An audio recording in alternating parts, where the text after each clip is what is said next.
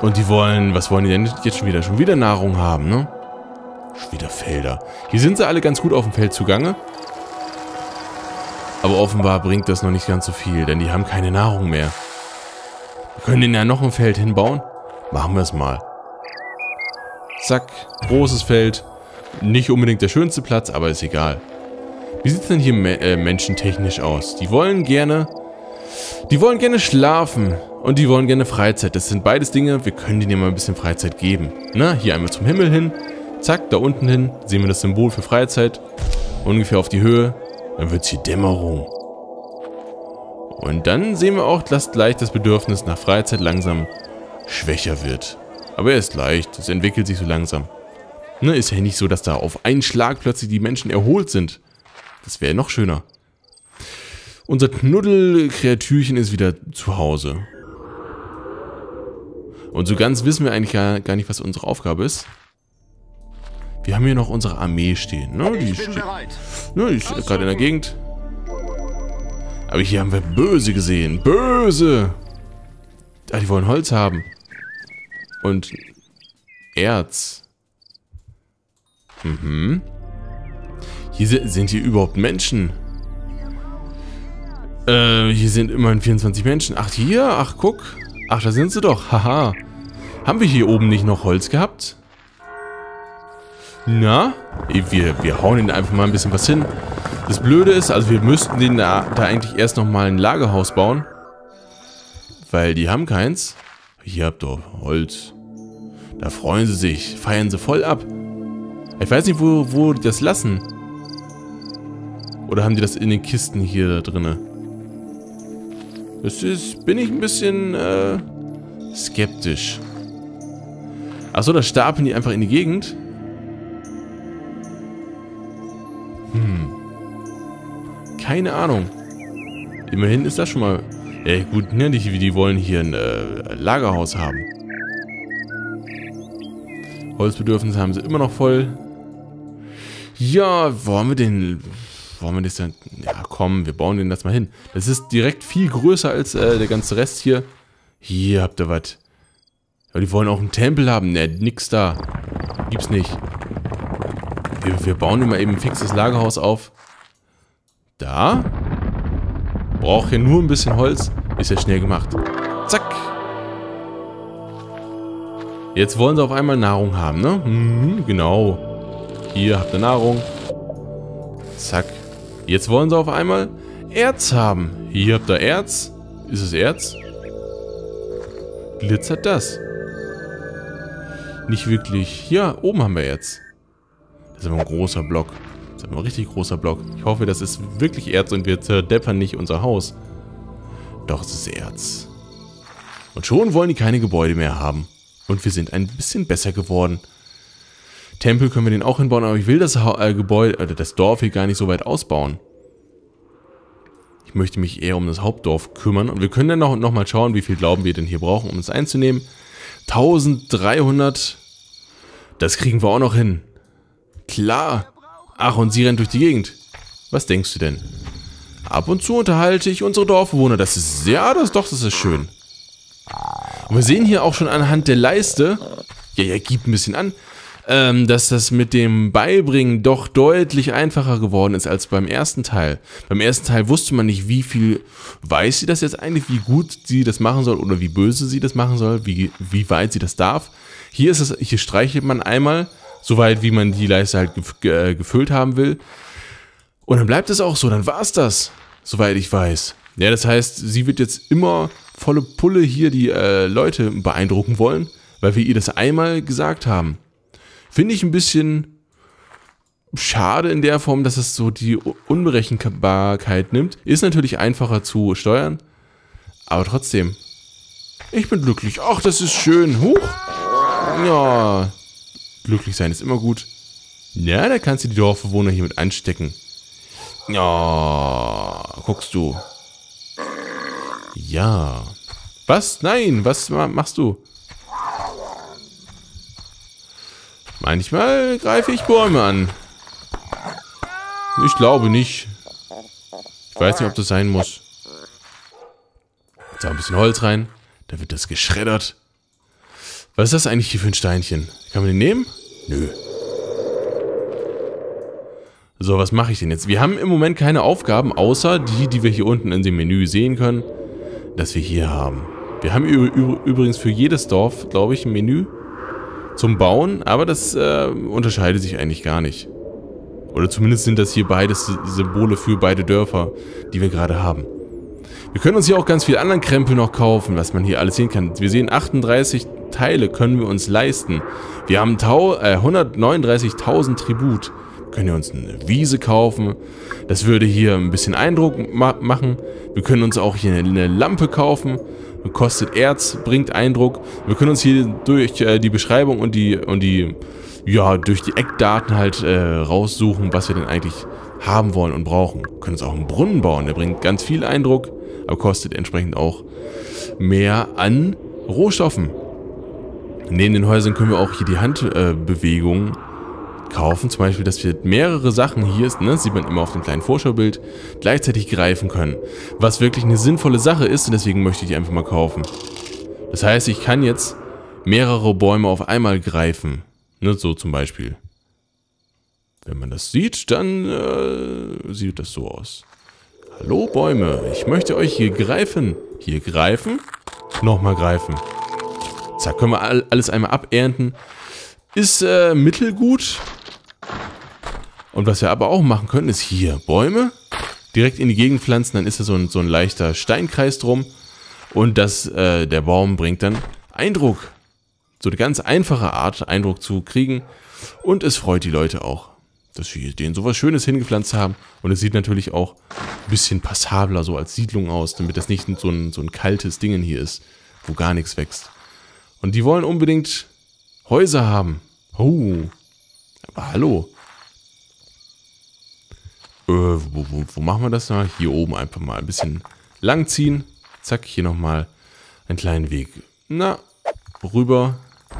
Können ihr auch hier direkt zum Feld hin. Dann können wir auch ein paar Feldarbeiter einstellen. Da. Bekehrter Bauer. Oder so. Ja, hier du auch nochmal. Bekehrter Bauer. Weil äh, Nahrung und sowas ist ja wichtig. Bekehrter Bauer. Ich weiß nicht, ob das jetzt feldabhängig ist, wo man die bekehrt. Ich hoffe, die teilen sich dann immer ein bisschen Bauer. sinnvoll aus, äh, auf. Aber wir machen es mal so. Ja, hier habt ihr ein Haus. Da habt ihr zwei Häuser. Da habt ihr einen Baum. Wir können den Restbaum auch wieder einpflanzen. Der ist dann ent entsprechend klein, aber wächst dann wieder groß. Und was macht sie? Kreatur? Ich unterhalte unsere Dorfbewohner. Ja, das ist schön. Ach, sie hat den eingepflanzt hier. Die Bäume sehen auch nicht schlecht aus. Wir können es uns mit der Kreatur auch etwas einfacher machen. Wir können hier nämlich in unserem Kreatur... Ja, das ist was anderes. Das sind verschiedene Leinen. Das kriegen wir später. Ähm, wo war das denn? Hier. Ne, da haben wir das Kreaturunterrichten-Menü. Da haben wir zum Beispiel hier die ganzen Sachen, die wir schon... Oder die sie schon gemacht hat. Ne, das ist zum Beispiel hier das... Äh, die Dorfbewohner nur selten ist. Das heißt, hier kann man tatsächlich die einzelnen Sachen im Nachhinein auch noch steuern. Zum Beispiel äh, steht da, ich fresse ziemlich oft Getreide. Ne, finden wir, ja, es ist okay, kann man so lassen. Manchmal ernte ich Getreide, das kannst du auch gerne tun, weil es ist nicht schlecht. Ja, dann bist du hilfsbereit dann, ne, freust du dich. Das heißt, wir können uns hier langsam einfach alles so einstellen, wie wir es gerne haben. Ist natürlich relativ simpel, kann man nicht anders sagen. Na, und du gehst hier nochmal hin, hole Getreide. Pam. Das mit den Leinen, da kommen wir später nochmal zu. Es gibt hier verschiedene Leinen, dass man ihr Aufgaben zuweisen kann. Aber das machen wir später. Kommt erst später dran. Die wollen immer noch Häuser haben. Da habt ihr noch eins, noch eins, noch eins. Man sollte die nicht allzu dicht bauen, was ich hier eigentlich gerade tue. Aber es ist, die wollen nur Häuser haben. Es ist, ist gerade egal. Steigert dann die Zufriedenheit, wenn dazwischen ein bisschen, ein bisschen mehr Platz ist. Wenn dann jeder seine entsprechende Beinfreiheit hat. So, wir können auch von hier aus, glaube ich, erkennen.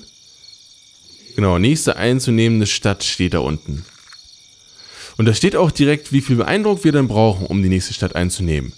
Das sind hier für Felsing ganze 706 Eindruckspunkte, was aber gar nicht so viel ist. Da bauen wir uns, ne, wenn die Häuser hier fertig sind, hier sehen wir schon, kriegen wir 143 für Und äh, für die anderen entsprechend das auch. Was ist hier denn los eigentlich? Die wollen schlafen. Wir können den mal hier, ne, die Nacht einstellen. Das passiert zwar auch automatisch, ne, wenn die Zeit fortschreitet. Aber wenn die es unbedingt haben wollen, dann geben wir denen das halt. Ist ja okay. Da bellen die Hunde. Da auch selbst, selbst Kreatürchen schnarcht hier sich ein Wolf. Ja, ist Nacht, ne? Ja. Ah, da wackeln die Ohren mit. Wie putzig. Können denen ja auch ein bisschen was hier ernten. Ähm, genau, in der Nacht ne, sind die Menschen natürlich, äh, ja, eigentlich schlafen die dann. Das heißt, da werden dann keine Arbeit mehr vollbracht. Deswegen kann es manchmal auch sinnvoll sein, wenn man dann irgendwie von einem, von einem Rohstoff viel braucht oder halt Arbeit zu tun hat, dass man dann nochmal auf Tag stellt, damit die Le Leute ordentlich arbeiten. Aber hier sind sie ja auch gerade ganz gut dabei. Muss ich ja sagen. Und da kriegen wir immer mehr äh, Glauben hier. Was sagst du? Du richtest das. Halt! Bleib stehen. Ach, du willst das Gebäude errichten. Ich Was sagst du? Hier, gucke mal. Ich helfe manchmal beim, Baum, beim Bau unserer, unserer Gebäude. Das ist eine schöne Sache. Möchte ich gern haben. Ne, soll es denn erstmal ein kleines, knuffeliges Kreatürchen werden. Denn sie kann auch beim Bau von Gebäuden helfen. Sonst wäre diese Anzeige sinnlos gewesen. Aber wir haben genug Eindruck gesammelt, dass hier die Leute aus diesem Dorf schon rauskommen wollen. Die haben ge äh, sich gesagt, dass es bei uns viel schöner ist. Und deswegen kommen die zu uns. Die brauchen natürlich eine ganze Weile, bis sie tatsächlich bei uns sind. Aber wir haben ja Geduld. Ne? Wir können hier auch unsere andere Streitmacht, unsere Mini-Armee, die gerade hier alle am Pennen und, und am Spielen sind. Oder im Lagerfeuer hier sitzen. Die können wir alle hier nehmen. Los! Zack, dann formieren die sich mal eben. Und können wir hier runtergehen und die Leute in den Kampf schicken, wenn wir das denn wollen. Gegen die anderen Armeen hier. Ja, wir können damit zum Beispiel dann das, noch das Dorf hier erobern. Möchte ich aber erstmal nicht. Das, die, können einfach hier bleiben. Und ihr Bestes geben im Warten. Ne, die anderen schleichen hier langsam zu uns. Man sind ja auch alles weiß behaarte Menschen. Vielleicht sind die ja schon älter, vielleicht sind die nicht so schnell. Hier in der Nähe, also ein Grund zum Beispiel, dieses Dorf hier einzunehmen, wäre, dass hier eine Erzmine in der Nähe wäre und äh, wir dadurch dann ganz viel Erz kriegen, was man teilweise später auch echt gebrauchen kann, um ganz beeindruckende Gebäude zu bauen, weil, ja, ne, je mehr Gebäude oder je, je weiter wir kommen, umso größer sind die anderen Städte auch, die man einnehmen will, gerade von den Gegnern. Da braucht man entsprechend mehr Glauben. Hier brauchen wir zum Beispiel noch 1000 267, also Eindruck, nicht Glauben, ne? Aber es ist ja ist von der Währung her recht ähnlich.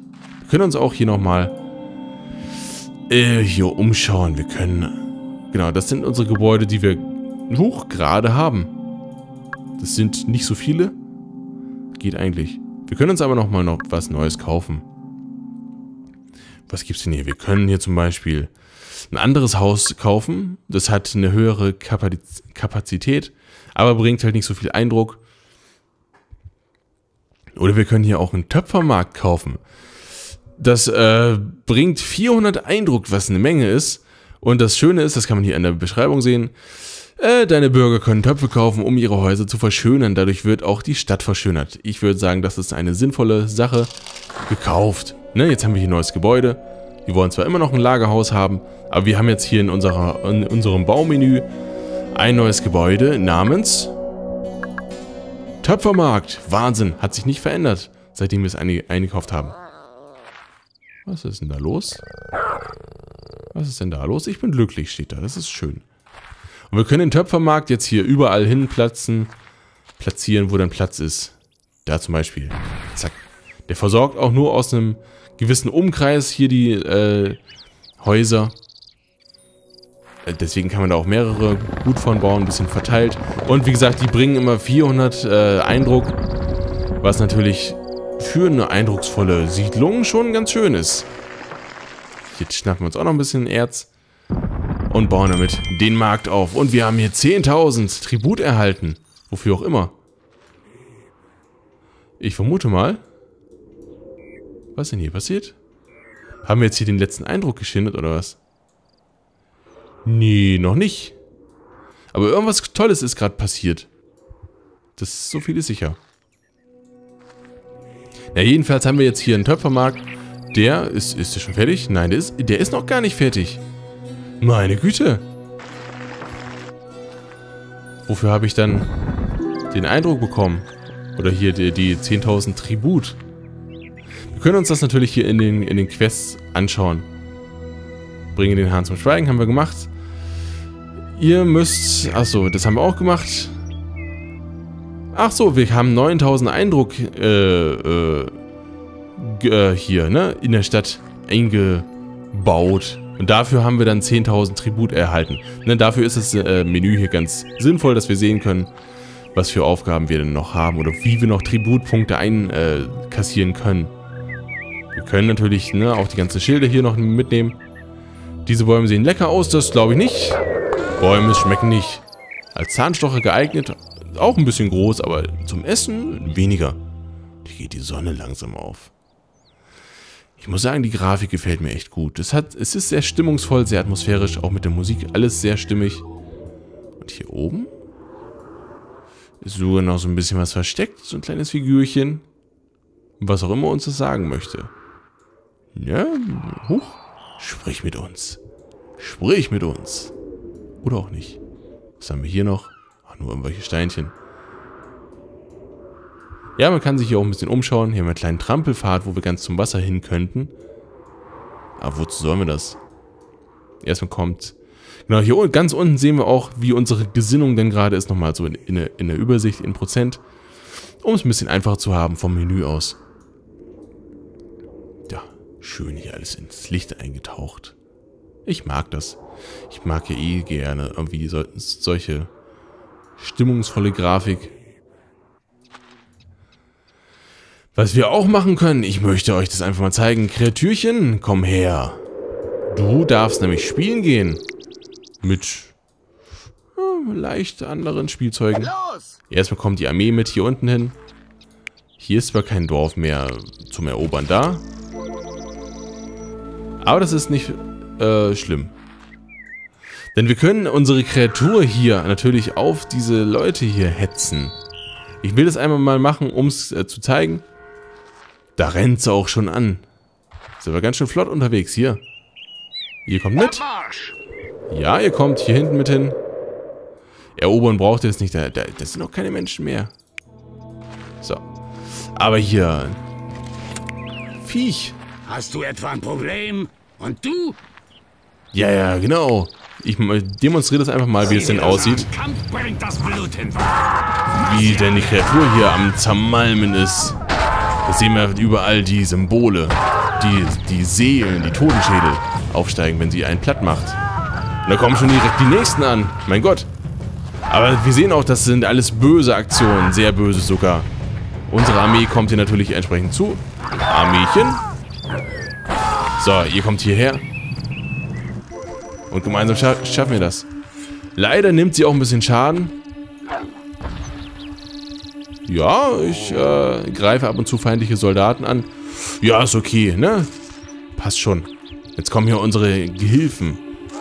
Und kloppen ho ho äh, hoffentlich die Restbestände hier weg. Jawohl. Krieg. Ja, ja. Und unsere Kreatur steht mittendrin. Ja, geh da mal raus. Was, was hast du? Achso. Ja, ne, so sieht das also aus, wenn man hier Kriege führt oder wenn man, wenn man Schlachten schlachtet. Ach komm, hier, ne, wir, wir können ja unsere Armee jetzt hier unten hin tun. Obwohl, das möchte ich gerade mal nicht. Nein. Hier, da ist noch eine andere Armee. Die können wir mal eben, mal eben plätten. Wunderbar, hier passiert das. Kreatürchen. Ja, wir müssen nur aufpassen, dass wir das nicht so oft machen. Nein, das ist... Das will ich doch nicht. Denn wir erhalten immer, was wir hier sehen können, immer... Äh, ja, je nachdem für unsere Taten gute oder böse Eigenschaften. Und wir haben hier gerade mächtig viel Böses eingeheimst, weil wir natürlich böse gehandelt haben. Durch Töten von Menschen. Das heißt, wir sind, ja, wir sind noch zu 7,5% gut. Das liegt aber daran, dass wir das andere Dorf beeindruckt haben. Da gibt es immer knapp 5 Prozentpunkte für. Und wir brauchen nur noch 400 Eindruck, um das andere Dorf da unten auch noch einzunehmen. Das heißt, es äh, ist eigentlich relativ schnell gemacht. Wir brauchen hier einfach noch einen Töpfermarkt. Und klatschen ihn hier hin. Und hätten das damit schon erreicht. Damit hätten wir diese Insel auch eingenommen. Ist natürlich nur eine äh, Insel, die ne, so als Tutorial gilt, dass man sich, sich den ganzen Aufbau hier äh, lernen kann. Und jetzt haben wir das schon Euer geschafft. göttliches Eingreifen hat unser Volk vor dem drohenden Untergang bewahrt. Es ist nun stark genug, um auf eigenen Füßen zu... Ja, wird langsam Zeit, dass wir den Azteken eine Lektion erteilen. So sieht das nämlich aus. Das schöne Zunächst Land. müssen wir unserem Volk wieder zu seinem alten Glanz verhelfen und die Unterstützung all der anderen Stämme gewinnen. Vergiss es! Wo waren die anderen, als wir sie gebraucht haben, hä? Erobern wir sie einfach! Los, komm schon!